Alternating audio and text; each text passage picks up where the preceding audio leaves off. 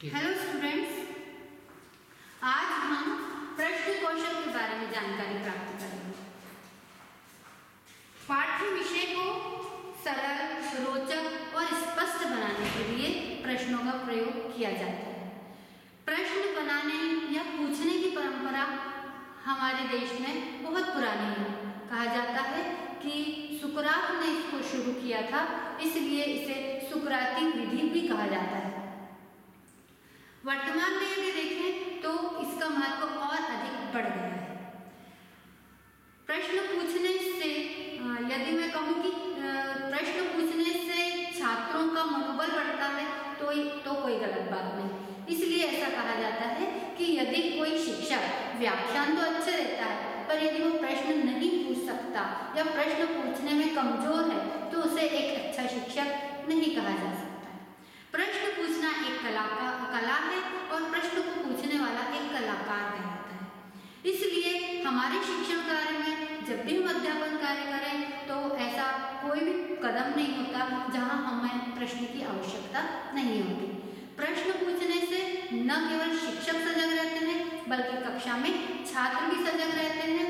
उनका आलस्य दूर हो जाता है, शिक्षण कार्य के प्रति रुचि जागृत होती है तो आज हम देखेंगे कि प्रश्नों के उद्देश्य क्या होते हैं यानी प्रश्न क्यों पूछे जाते हैं तो इसके अंतर्गत छात्रों को नया ज्ञान जब दिया जाता है तो उनका पूर्व ज्ञान पता करने के लिए प्रश्न पूछे जाते हैं। बालकों का ध्यान पाठ की ओर लगाने के लिए। बालकों में बालक और छात्र दोनों को प्रेरित करने के लिए प्रश्न पूछे जाते हैं। उन्होंने पाठ के दौरान कौन सा ज्ञान अर्जित किया, इसके मूल्यांकन में तो प्रश्न पूछे जाते हैं। शिक्षक स्वयं का मूल्यांकन भी प्रश्नों के माध्यम से करता है, अर्थात पाठ के दौरान जब वो छात्रों से पढ़ाए गए विषय के अंतर्गत कुछ पूछता है, छात्रों के द्वारा यदि उत्तर प्राप्त होते हैं तो वह स्व मूल्यांकन होता है, अर्थात उसे सफलता मिली या न मिली। इसी के अलावा पाठ के दौरान पूछे गए प्रश्नों से छात्रों का मूल्यांकन भी हो जाता है कि उनका कितना ध्यान शिक्षण कार्य की ओर केंद्रित है या नहीं। तो इस प्रकार यह इनके उद्देश्य हैं। बौद्धिक, सामाजिक विकास के लिए तार्किक शक्ति, चिंतन शक्ति को बढ़ाने के लिए प्रश्न पूछे जाते हैं। इस प्रकार यह हुआ प्रश्न पूछने का उद्देश्य। अब हम देखेंगे प्रश्नों के प्रकार कौन कौन से होते हैं। तो इसमें पहला है स्मृति प्रश्न। स्मृति प्रश्न का अर्थ हुआ कि छात्र अपने पूर्व ज्ञान के आधार पर प्रश्नों का उत्तर देता है। और विशेषकर जब हम कोई पाठ की शुरुआत करते हैं, प्रकरण बदलते हैं, ऐसी स्थिति में हम छात्रों से स्मृति प्रश्न पूछ सकते हैं। जैसे महात्मा गांधी का जन्म कब हुआ था? स्वामी विवेकानंद के बचपन का नाम क्या था? तो यह स्मृति आधारित प्रश्न होंगे, जिनका छात्र जवाब देंगे।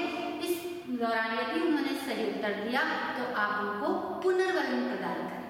दूसरा है प्रस्तावना प्रश्न। जैसा कि आप जानते हैं कि प्रस्तावना प्रश्न जो होते हैं, वह छात्र के पूर्व ज्ञान के आधार के साथ साथ मूल पाठ से जोड़ने वाले भी प्रश्न होते हैं। जैसे आप संयोजकता पाठ पढ़ा रहे हैं तो उसके पहले आप छात्र से परमाणु, अणु एवं आयन से संबंधित यदि आपने प्रश्न किए तो यह प्रस्तावना प्रश्न होंगे, क्योंकि इसमें छात्र के प्रीवियस नॉलेज का भी ज्ञान हमें हो जाएगा। साथ ही इन प्रश्नों के द्वारा हम छात्रों को नए पाठ यानी मूल पाठ से भी जोड़ सकेंगे। विचारात्मक प्रश्न। ऐसे प्रश्न जिससे छात्र विचार करने को तैयार हो, ऐसे प्रश्न को विचारात्मक प्रश्न कहेंगे, जैसे, हरे टमाटर लाल क्यों हो जाते हैं? जब हम बायोलॉजी पढ़ाते हैं तो हरे टमाटर लाल क्यों हो जाते हैं? या कच्चे फल पक जाने पर रंग क्यों बदल लेते हैं? तो वो विचार करेंगे कि इसमें किस लवक का कार्य होगा। विकासात्मक प्रश्न है अगला। इसका अर्थ हुआ कि पाठ के विकास में, यानी शिक्षण के दौरान, जब हम पाठ का विकास करना चाहते हैं और उसमें छात्रों का सहयोग लेते हैं तो ऐसे समय में हम विकासात्मक प्रश्न करते हैं। जैसे हम नक्शा दिखाते हुए पूछें कि इसमें कलकत्ता की स्थिति बताइए और बताइए यहाँ पर किन किन चीज़ों का उत्पादन होता है। और आगे हम यह भी प्रश्न पूछ सकते हैं कि यहाँ पर पटसन उद्योग क्यों अधिक है? तो चूँकि वह उसी टॉपिक को पढ़ रहा है तो इन प्रश्नों के द्वारा पाठ का विकास होगा और जो छात्रों के सहयोग से होगा, अतः यह अधिक सफल माना जाएगा। बोध प्रश्न। बोध प्रश्न का अर्थ होता है कि पाठ पढ़ाते समय हमने जितना पोर्शन पढ़ाया, उसके बाद तुरंत यदि उससे संबंधित प्रश्न पूछा तो इसका अर्थ होगा बोध प्रश्न, यानी उसने कितना सीखा।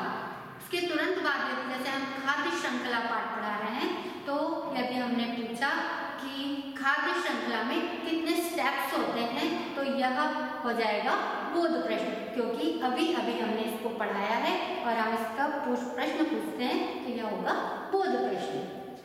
पुनरावृत्ति प्रश्न। पाठ पढ़ाने के दौरान जब हमारा पूरा पाठ समाप्त हो जाता है तो हम उसको एक बार रिवाइज करते हैं।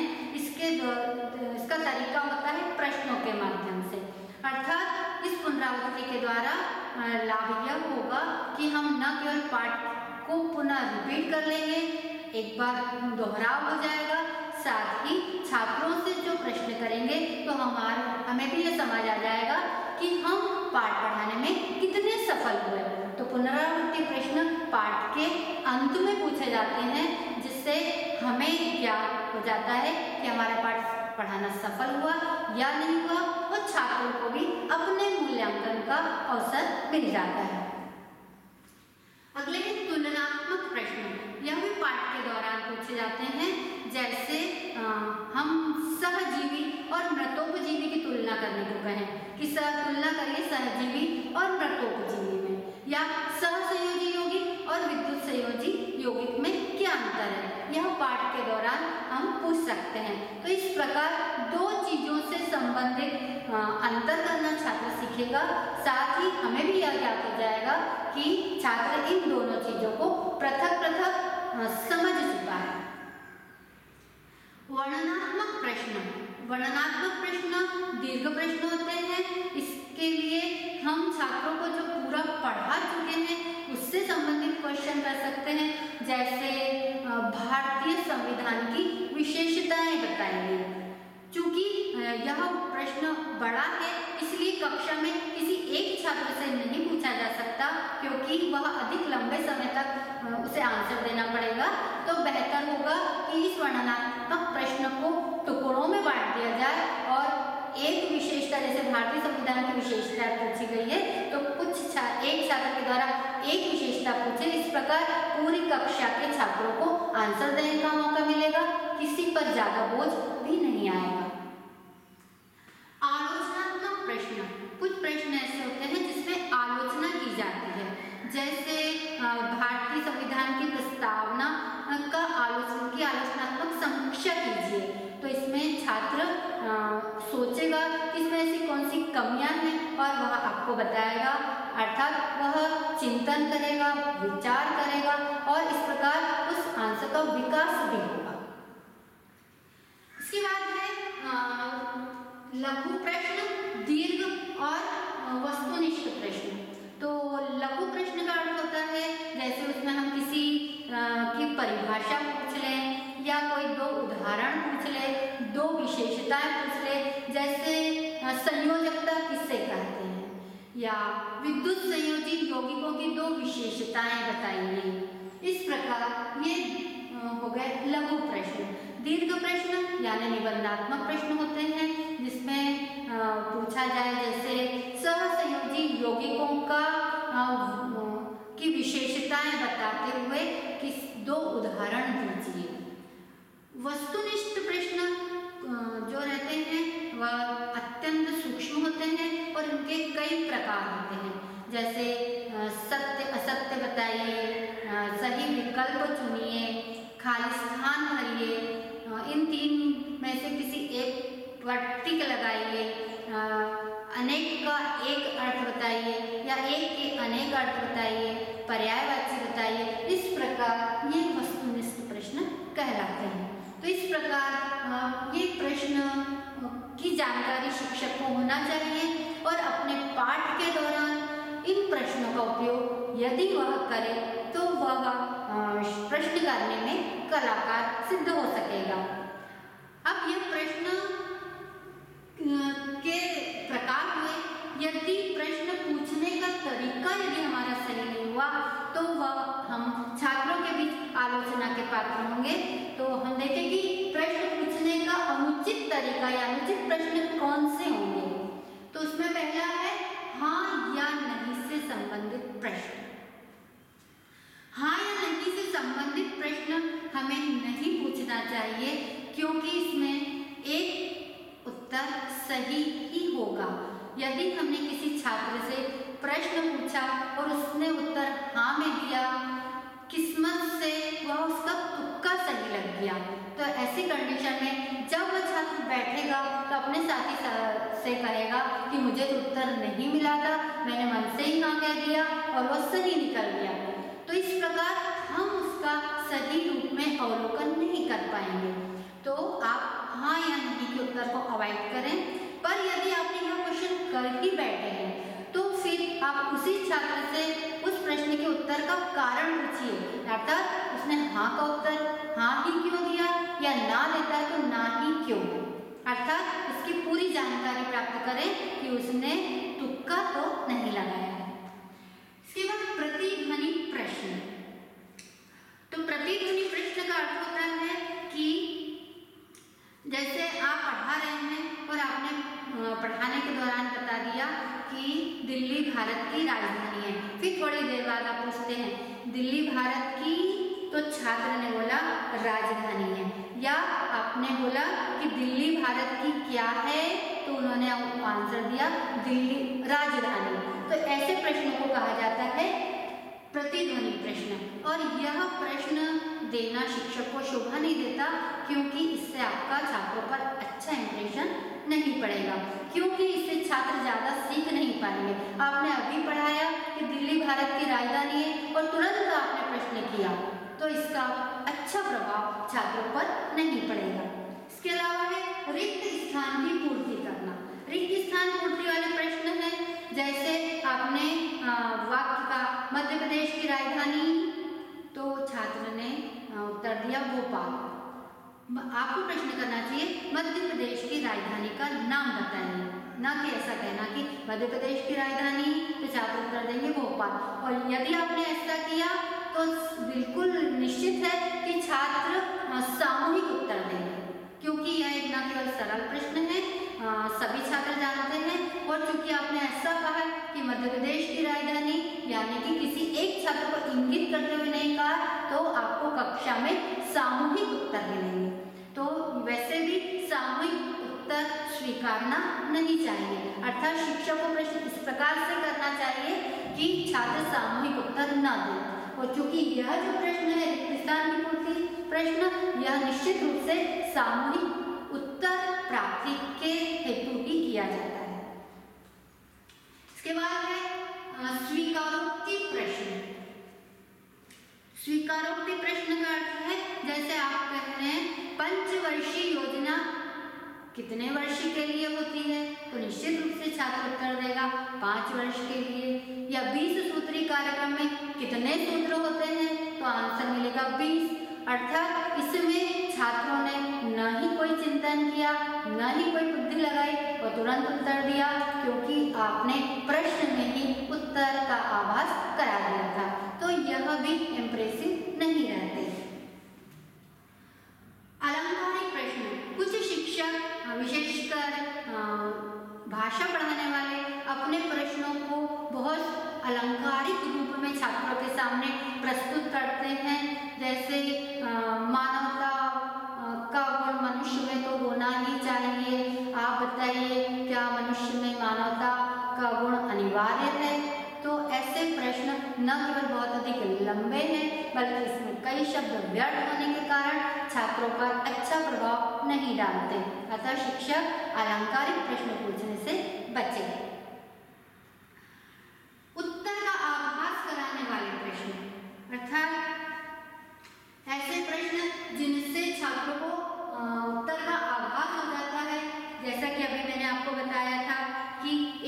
पंचवर्षीय योजना कितने वर्ष की होती है?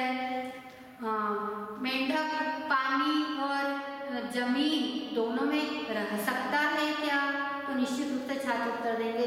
हाँ तो ऐसे प्रश्न उत्तर का आभास करा देते हैं। तो यह प्रश्न अच्छे नहीं माने जाते। अनुचित प्रश्नों की कैटेगरी में आते हैं। इसलिए आप इन प्रश्नों, इस प्रकार के प्रश्न करने से बचें। तो इस प्रकार यह हो गए प्रश्नों के प्रकार और ये हो गए अनुचित प्रश्न जिनसे हमें बचना चाहिए। इसके अलावा कुछ ऐसे प्रश्न भी होते हैं जो सही संदर्भ में नहीं माने जाते। अर्थात ऐसे प्रश्न जैसे आपने कहा कि मेले कब भराते हैं। मेले कब भराते हैं?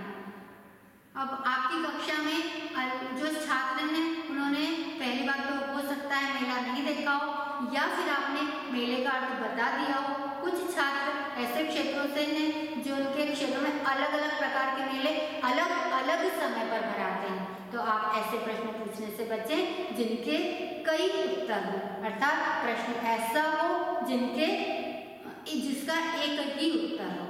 इस प्रकार आप समझ गए होंगे कि प्रश्न कैसे किए जाए, प्रश्न के उत्तर निकालने के लिए आपको बहुत प्रयास करना पड़ेगा। आप घर से प्लान बना के आइए और प्रश्न पूछिए। इसके अलावा अच्छे प्रश्नों की कुछ विशेषताएँ होती हैं, जैसे प्रश्न का एक ही उत्तर हो, प्रश्न न बहुत अधिक लंबा हो, न ही बहुत अधिक छोटा हो प्रश्न का कोई एक निश्चित अर्थ हो, और इसके अलावा अगर आप प्रश्न पूछते हैं तो उनकी एक ही प्रकार की भाषा न हो। जैसे आप प्रदूषण पाठ पढ़ा रहे हैं तो आप जल प्रदूषण किसे कहते हैं? वायु प्रदूषण किसे कहते हैं? ध्वनि प्रदूषण किसे कहते हैं? अर्थात एक ही प्रकार के प्रश्न हो जाने से छात्र इसमें नीरसता का को महसूस करते हैं। प्रश्न जो होंगे वह छात्रों की योग्यता के अनुसार होने चाहिए अर्थात कक्षा के अनुकूल प्रश्न करें। फिर इसके बाद हमारी कक्षा में कुछ हर प्रकार के छात्र होंगे। कुछ बहुत अधिक बुद्धिमान कुछ मध्यम श्रेणी के और कुछ बहुत अधिक वीक होंगे। तो जब आप प्रश्न करें तो छात्रों को आ, मैं छात्रों से इस प्रकार के प्रश्न पूछें कि हो सके तो वे आंसर दे सकें। जैसे बहुत अधिक बुद्धिमान छात्र है, उससे साधारण प्रश्न पूछने से बचें। जो साधारण बालक है, उससे बहुत अधिक कठिन प्रश्न पूछकर उसे कक्षा में लज्जित न करें। यदि कक्षा में कोई एक छात्र है, जिससे आप उम्मीद भी नहीं करते कि वह प्रश्न का उत्तर देगा तो उसको एक मौका अवश्य दें प्रश्न पूछने का। यदि वह उत्तर नहीं दे पाता है तो ऐसी स्थिति में एक ऐसा छात्र, जिससे आपको उम्मीद है कि वह प्रश्न का उत्तर दे सकेगा तो उसे खड़ा कीजिए, प्रश्न पूछिए और इसके द्वारा जो उत्तर दिया गया है, यदि वह सही है तो वह छात्र जिसने अभी प्रश्न का उत्तर नहीं दिया था, उसे दोहरवाइए। निश्चित रूप से आप ऐसा प्रयास करेंगे तो जो जो छात्र कक्षा में उत्तर देने से बचता है, वह उत्साहित होगा और अगली कक्षा में हो सकता है कि वह सही उत्तर दे सके। जब भी हम प्रश्न पूछते हैं तो इन स्थितियों से बचे। पहली स्थिति कि क्रम से छात्रों से प्रश्न न पूछे। अर्थात पहला प्रश्न पहले छात्र से, फिर दूसरा प्रश्न दूसरे छात्र से। यदि आपने ऐसा किया तो कक्षा में पीछे बैठे छात्र निश्चिंत हो जाएँगे कि हमारा, हमारी बारी तो आने ही वाली नहीं है, क्योंकि जब तक हमारी बारी आएगी, पीरियड छूट जाएगा। अतः सही तरीका ऐसा है कि आप पहले प्रश्न पूछिए पूरी कक्षा को संबोधित करते हुए। कुछ पल रुकिए ताकि छात्र सोच सके और फिर किसी एक छात्र से पूछिए। अगला जो प्रश्न है, वह कक्षा में वितरित करते हुए अगले किसी ऐसे छात्र से पूछिए जो उम्मीद नहीं कर रहा था कि मुझसे पूछा जाए। इस प्रकार पूरी कक्षा को प्रश्न को संबोधित करिए, कुछ पल रुकिए, और जहाँ तक हो, एक ऐसा छात्र जो सतर्क नहीं है, उससे क्वेश्चन करिए। इसके कारण अन्य छात्र भी कक्षा में सतर्क होकर बैठेंगे। डिस्ट्रीब्यूशन करने का तरीका आपका अच्छा होना चाहिए। प्रश्न पूछते समय आपने लाड़ले स्टूडेंट या एक ऐसा छात्र जो हमेशा उत्तर देता है, समय बचाने की दृष्टि से हमेशा उससे ही उत्तर ना पूछें, अन्यथा वह छात्रों की नज़र में किरकिरी तो बनेगा ही और बाकी कक्षा में नीरसता भी फैलाएगा। अतः आप अन्य छात्रों को भी मौका दें और यदि वह उन्होंने उम्मीद के अनुसार बहुत अच्छा उत्तर दिया, यानी आपने उम्मीद नहीं की थी कि अच्छा उत्तर देगा, यदि उसने बहुत अच्छा उत्तर दिया है तो आप उसी के अनुसार उसको प्रबलन इन्फोर्स करें, ताकि वह आपकी कक्षा में हमेशा उत्तर देने को उत्साहित हो। इस प्रकार यदि आप कक्षा में इस प्रकार प्रश्न करेंगे तो निश्चित ही आपको पाठ को आगे बढ़ाने, पाठ को सफल करने और स्वयं के मूल्यांकन में पास होने का अवसर प्राप्त होगा। छात्र आपसे प्रभावित होंगे और अगले दिन आपके प्रश्नों की राह देखेंगे कि आप कब प्रश्न करें। आप समझ गए होंगे कि किस प्रकार प्रश्न करें और आप तैयार करिए। प्रश्न पूछने की एक श्रृंखला बनाइए। अगली बार आप जब भी कक्षा में जाएँ तो इस प्रकार के प्रश्नों को तैयार करके और कक्षा में प्रश्न पूछें, स्वयं का भी मूल्यांकन करें और छात्रों का भी मूल्यांकन करें। निश्चित ही आपको सफलता मिलेगी। धन्यवाद।